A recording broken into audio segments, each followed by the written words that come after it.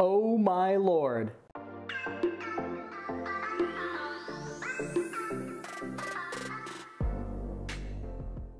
Hello everybody, Silverpicker here, and man, do I have an incredible video to share with you today. Last week, I bought an incredible coin collection worth thousands of dollars, and if you missed it, you should check it out in the card over here. But included in that collection were also these two items. An incredible collection of rare banknotes from the United States, Canada, and the rest of the world, as well as this mysterious pencil case filled with other cool, unique, and interesting bills. Now, before we crack into them, you know what else is cool, unique, and interesting? The sponsor of today's video, Skillshare. Skillshare is an amazing online learning community with thousands of classes on all things creative, and it's great for curious and creative people like me, and I suspect you too. Now, what makes me suspect that you'll like it too? Well, it's probably because one of the top comments, emails, DMs that I get, well, aside from people requesting that I send them free silver, is how can I start my own YouTube channel? And I love answering those emails because I love promoting new creative people to get their voices heard and get their ideas out into the world. And the best place to start, I can tell you, is on Skillshare. Skillshare has classes on everything you need to get started, whether you wanna make a video or a podcast. They've got all sorts of things that you can use, classes on video editing, the basics, all the way up to advanced cinematography. So no matter where you are in your creative process, there is something for you to learn. Even for me, with over 85,000 subscribers on YouTube right now, I'm still learning every single day. Right now, I'm taking the Video Essentials class with Oren Sofer, and I'm only halfway through the class, and it is amazing. I've learned so much about video lighting. Turns out you need three different types of lights to light a video properly a key light, a fill light, and a backlight. Looks like I gotta order two more lights. Another great thing about Skillshare is that there are no ads, so you can really get your creative juices flowing without interruption. And it's less than 10 bucks a month. I've spent far more than that learning things the hard way when developing my YouTube channel. Now we don't know how 2021 will shake out, but it's likely we're all gonna spend a lot of time at home, so why not spend some of that time learning some of the skills that you've always wanted to learn and do it on Skillshare. It's so easy. And the classes are self-paced, so you can pause them, play them, pause them, take some notes, answer the door, don't forget to tip the pizza guy, and come right back and get into the creative zone and keep developing those skills. Sounds awesome, right? But if you're still unsure, the first 1,000 of my subscribers to click on the Skillshare link in the description box below will get a free trial of Skillshare Premium membership, so you can explore your creativity with zero risk. That's also not a bad reason to subscribe to my channel if you haven't. So check out Skillshare and let's check out these incredible banknotes. All right, here we go. We've got the album and of course I've got this weird pencil case thing which I will reveal the contents at the end of the video. But for now, let's check out what's inside here. Oh boy. Yes, look at that. I have never seen an album like this before, but it's really cool. I mean, you can flip through the different bills and see what you've got and it keeps them protected. It's really cool, but I personally am going to be removing these and putting the ones that I want to keep in my US currency typeset. I'll do an update video on that soon so you guys can see how I'm progressing there. And everything else that I'm not going to keep, I am actually going to have available for sale. So if any of you are interested in purchasing any of these awesome banknotes, the best way to contact me is on Instagram. So check me out at The Silver Picker on Instagram and send me a DM and we can work something out. Now, in terms of how we're going to tackle viewing all this, I think the easiest way is for me to remove everything from the album, and then we can see it without the glare, without all of the uh, other notes in the way. So let's get to it.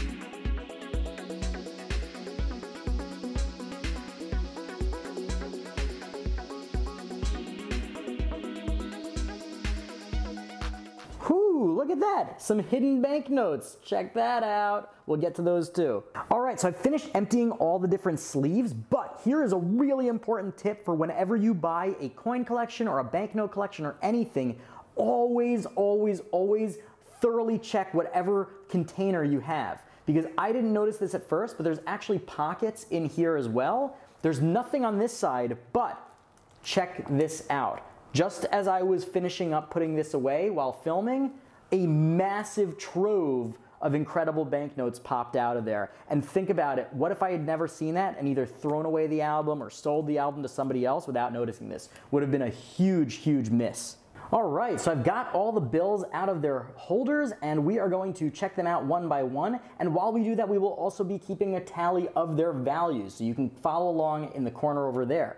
Let's get started with this first bill. All right, to start off, we have an amazing note. This is the $1 silver certificate Hawaii overprint note. And what's really cool about this, aside from the brown seal and serial number and the words Hawaii flanking the portrait on the front, or the giant overprint of the word Hawaii on the reverse, is actually the story behind this. Now, the story behind this bill is that this was produced during World War II, specifically to be issued to troops and other people living in the Hawaiian Islands. Now, the worry from the United States was that the Hawaiian Islands would be overtaken by Axis forces, and then the money could be used to fuel their war effort against the United States.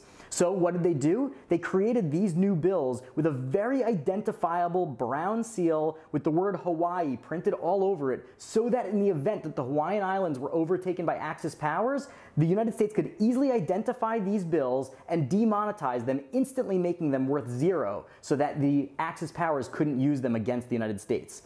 This is a real piece of World War II history that you can hold in your hands, and these are really desirable, but they're not that expensive. Now, this one is not in as good condition as the one that's in my US currency typeset already, so this one will be another one that is indeed for sale.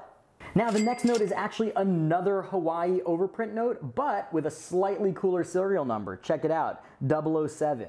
Not too shabby. All right, and the next note is very similar to the previous two. This is the North Africa 1935 silver certificate. And just like the previous note that was used in the Hawaiian Pacific Theater, the worry there was that the Japanese would overrun the island. Here, this is for use in North Africa. And again, they used a yellow seal instead of a blue seal so that it could be easily identified and demonetized if Axis powers took over the North African theater. Now, this is actually in much better shape than the bill that I currently have in my US typeset. So I am going to be upgrading and then selling the one that I currently have. You can take a look here. This is the one that I currently have. You can see, I'll take it out of the plastic, but it's all, you know, folded up and creased. So upgrade. now, some of you will know why I'm laughing, and that is, of course, because this is the 1934 $1 US silver certificate, which is also known as the funny back. And that's because the back of the bill looks like ridiculous carnival money. And that's why it's nicknamed the funny back. I believe this was the first small size $1 bill ever produced by the United States, and it's a little bit different than the more common $1 silver certificates that we're used to. See, it has a bigger seal and it has the number one in blue, and of course the different reverse. This is what the traditional one looks like.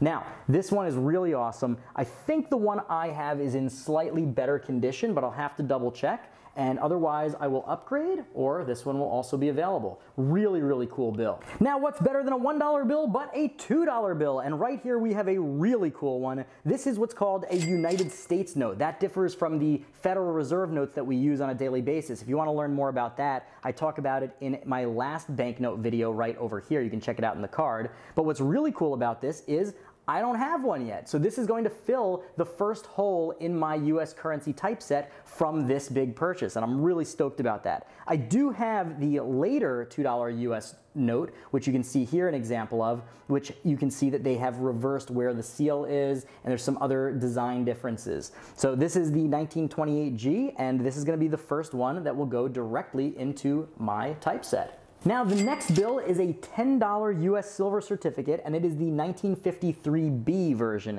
So now in terms of my personal collection we have the exact opposite scenario of what we had with that $2 bill right before. In this case I already have the older version, which is this, in my US currency typeset and now I need to have this newer version. You can see it's slightly different again with the blue 10 on the older one, the gray 10 on the newer one, the larger seal versus the smaller seal. So I'm pretty stoked to be able to get this and fill yet another hole in the collection. But don't despair, if you had your heart set on buying this but now are upset that I'm putting it in my personal collection, well, I have another one because the next bill is the exact same one but with a different serial number. Pretty cool serial number actually because it's got the double one and then the triple seven right after it and it's in slightly worse condition. That's why I am not holding on to this one, but still an awesome bill.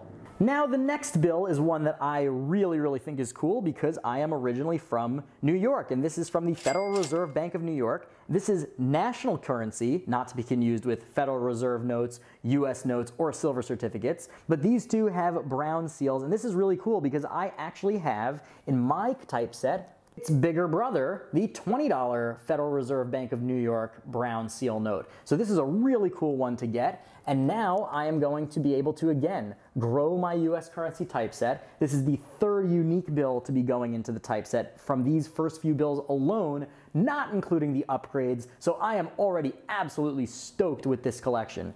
But guess what? Even if I didn't have that $20 New York note, well, there was one waiting right behind that $10 bill in this collection. So now I have a duplicate. This one is not in as good condition as the one that I have, so I'll be uh, sending this one off to someone else. Next up is the first ever United States gold certificate note that I have ever owned. And this one has a little rip down the middle, which is why I won't be putting this in my currency typeset, even though I don't have one. And you'll see why, of course, with the next bill. But this one is super cool because what this was for, just like silver certificates, back in the day in 1928 when this bill was in use, you could go to the bank and exchange this $20 gold certificate for a $20 gold eagle coin. Now, even though this bill is worth quite a bit as a collectible, the $20 double eagle would have been worth far more, talking like $2,000 in gold instead of what this bill is worth. But in any case, I'm still happy to have this piece of numismatic history.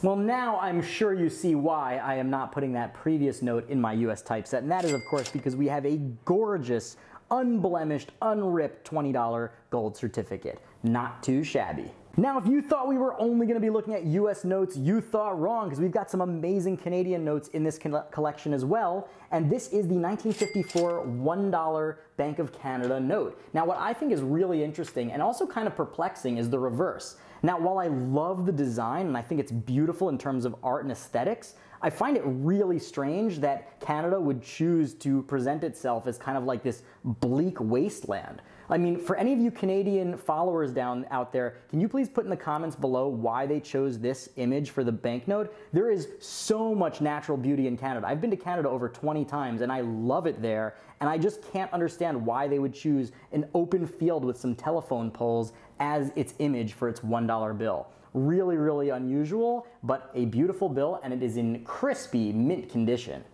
Next up is the 1967 $1 Canadian note. You can see here it has the 1867 to 1967 and it is the Centennial of Canadian Confederation. What I'd be interested in knowing is why does it have a Star of David without the bottom point uh, as its symbol here for 1967? Very curious. Again, Canadian viewers, please enlighten us.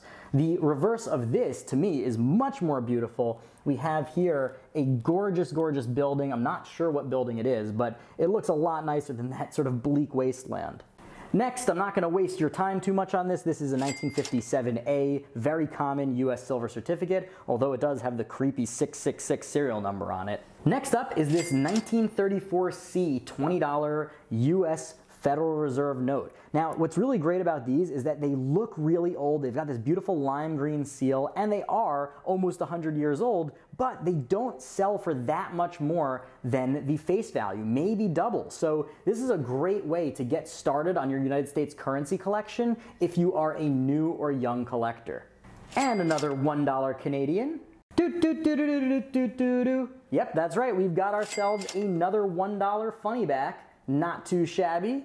Oh boy, next up is another $1 Hawaii note, but this one is in pristine condition. It's not quite mint, but it is superb paper quality. It is fantastic, and it is definitely going to replace the note that's in my current typeset. Wow, really, really nice. Next up, we've got this crispy, crispy, beautiful 1953A United States $2 red seal note. And this one is in much, much better shape than the one that's in my current typeset. So I will be upgrading this as well. I am so excited to have so many upgrades. Actually, the next note that was in the album is an identical one, of course, with a different serial number. And this one is also in super crisp mint condition. So that is really, really awesome. Oh, and what do you know? Another banknote that I don't have in my US currency typeset. This one is the $5 North Africa silver certificate. So it's the same as the $1 one, but five times cooler, am I right? See, it's got the gold seal. I've never had one of these before, and I am super stoked to have picked one up. Thank you, Michael, for allowing me to purchase these because I have been able to upgrade my collection like crazy. Next up is the famous $2 United States Red Seal laundry note because this has been in someone's pocket in the laundry. No, I'm just kidding. I have no idea, but this is one of the rattiest notes I've seen uh, of this type. So definitely not worth a whole lot. It's got a little chunk taken out of it, but still a very cool bill and certainly happy to have it. And another standard 1935 silver certificate. And we've got ourselves another 1934 $20 lime green seal $20 bill. To finish off the first row of our album is a 1928 $20 bill. Now what's cool about this is it looks like there is actually a number instead of a letter to symbolize the Federal Reserve branch. This one is number seven for Chicago. I'm not so familiar with that, so if anybody's familiar with the numbering system, please let me know down in the comments below and explain sort of the significance of how this bill was designed. All right, who's ready for the second side? Next up is a piece of Canadian fractional currency. Now you've seen that I have a bunch of US fractional currency. This is my first ever Canadian fractional currency note. It's a 25 cent note from the year 1900. Really, really cool note. Very nice font, very nice design, and also very similar to what you see in the United States. Now, I've got a bunch of really cool Canadian notes now. Should I start a Canadian banknote typeset? And next is a 1969D $1 Federal Reserve note. Nothing too special there, but still an old bill in excellent condition. Well, if I should, I've certainly got the notes for it. This is another 1954 Canadian note. And from the same series, we have this $5 Canadian note. Let's check out the reverse and see if it's any more interesting. See, that's what I'm talking about. Look how beautiful that is. That shows the beauty of Canada and the Canadian wilderness. Not that weird, empty, barren hellscape. And another hellscape note, I mean $1 Canadian note. And here we go, from the same series, a $2 note. Let's see, what are we gonna get on the reverse? Eh, sort of somewhere between the barren hellscape and the beautiful natural waterfall and forest image. See, this one wouldn't have made me notice it right away. I only noticed that this is kind of bleak based on that first $1 note. And we've got another one. And another one. And another five. Not too bad. And from the 1971 series, we have a Canadian $10 note. Now, this one also has kind of a perplexing reverse. It is what looks like kind of an oil refinery or something. Not very pretty, and not what I think when I think Canada, but I guess it does show sort of like their industriousness. All right, from the 1970s series again, this is a $5 note, and this one has a beautiful ship on it. See, I don't understand. These notes are like hit or miss. I mean, Canada, what's going on over here? We've got a $1 bill from 1973 a very beautiful reverse. I think this is much, much nicer than the $1 uh, Hellscape. And another one and another one. Thought we were done with US notes? Nope. We've got ourselves a bunch more and some really cool ones coming up towards the end of the video. This is a $5 silver certificate. You can see it has the blue seal. It's from 1953. I actually do not have this one in my typeset either. And right after it, there is a second copy. So I will be putting the better conditioned one in my typeset and the other one will be available for someone else. Now this one is a really weird one. This is like a laminated plastic encased $3 note from the Bahamas Monetary Authority. Now, I think this is probably like a souvenir because the serial number is B00000, and that would lead me to believe that this was not actually intended for use, although I do believe this is a real bill design. Anybody that is an expert on Bahamian money, please let me know in the comments below what the deal with this thing is. Is this a you know, ordinary souvenir note, or is this some kind of like really cool sample note? Please let me know. Another Centennial of Canada note. Ooh, and a 1969 $20 Canadian note. Let's see. We'll play the reverse game and Beautiful. Look at that. Look at that. Is that the Canadian Rockies? Absolutely gorgeous. Really nice. And another one. And another five. Man, if we could only know what this guy has seen in its long life. This is a 1934 B uh, $20 Federal Reserve note, and it is creased and stained, and it, this thing has been all over the place. Really interesting bill, though not worth too much. And another $2 bill, and another $1 bill, each from Canada. And the last note in that second sleeve is this $10 bill from 1928. Now, I was about to dismiss this as just an ordinary note in pretty ratty condition, but what I didn't notice is that over here, if you look at the text on this note, it says redeemable in gold on demand. I never noticed that. Is this actually like a gold certificate that I didn't realize? Or is this just what all Federal Reserve notes from that era said? Very, very cool. Now we've seen these incredible notes from the first two sleeves, but there are some really, really cool things that I found in the pockets hiding in that album. So let's take a look at those now. All right, and now we're going to finally take a look at the different notes that were hidden behind the pages of this album in that hidden pocket. And before I do, I really am sorry to disappoint you, but the video is running really long, and I did take a sneak peek into what's in this box. And the good news is that it's really, really unique and cool stuff, but the bad news is that it's gonna take way too long to give it justice by going through it just at the end of this video. So I'm sorry to have to string you along for another week, but next week's video will focus on this piece of the collection and we'll look at that. So please, again, my apologies. I don't want to disappoint you, but there really isn't enough time to go through this as well. So let's take a look at these awesome banknotes and uh, you'll stay tuned for next week for that one. All right, so in that first little pocket, it's mostly just more of these Canadian banknotes. We've got one, two, three, four from the 1954 series, and then we've got a 1973, another 1973, another 1973, and yet another 1973. Nothing special there. But yeah, the stuff hidden in the other pockets, yeah, those are something special. Let's start with the Canadian.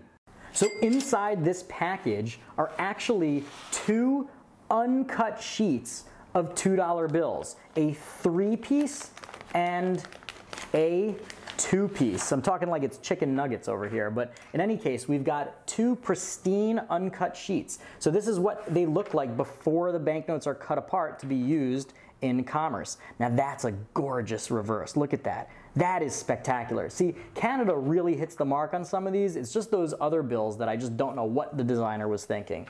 But how cool is that? Now, I don't really know too much about these, so if any Canadian banknote collectors can tell me sort of whether these uh, were sold in sets of five like this or if this was cobbled together after the fact, definitely would be curious.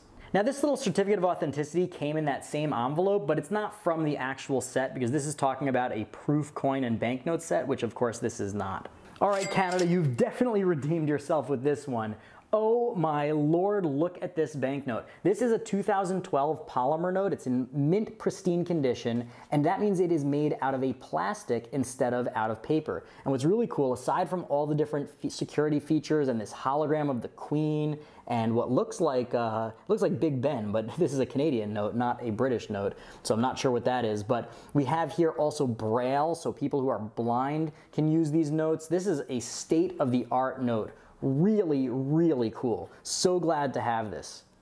All right, and the last three notes are spectacular large size banknotes. And guess what? I don't have any of them. This one is a Federal Reserve note. It's a $20 note, and you can see it says 4D. I'm not sure what that is from. I mean, I, obviously it's from the uh, Ohio Federal Reserve branch, but I don't know what 4D means. And this is the 1914 version. And you can see that it has Grover Cleveland on the front. Unfortunately, it does have a big chunk taken out of it, so that is definitely going to lower its value. But still, look at that. The reverse is so cool. It's showing off like the ultimate of the technology at the time. You've got the steam engine and you've got these steamships. You can see the Statue of Liberty in the background. This is really cool. You also see one of these little cars and a little tugboat.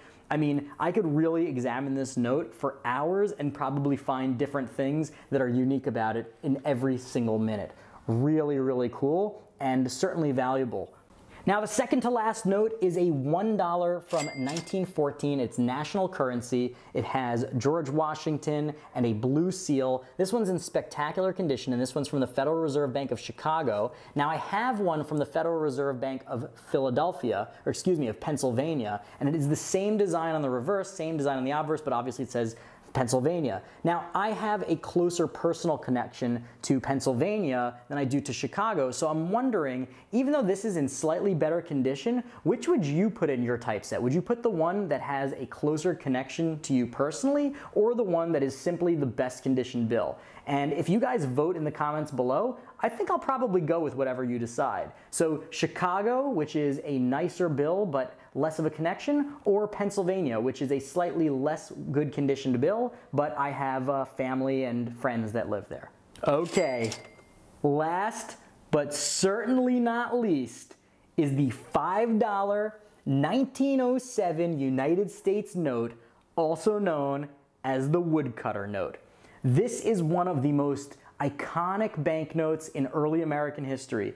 This one shows this family of pioneers, the woodcutter, with the wife, the baby, and the dog, the perfect American family, and it is just spectacular design. Look how regal this thing looks. Look how amazing it is.